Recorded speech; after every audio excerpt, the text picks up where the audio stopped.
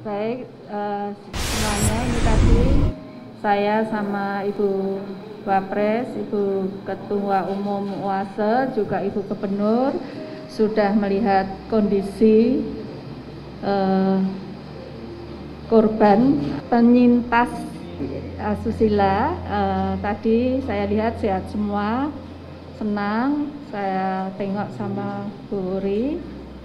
Makanya untuk hukum harus ditindak tegas dan keras dan juga pelaku dihukum seberat-beratnya sesuai kelakuannya.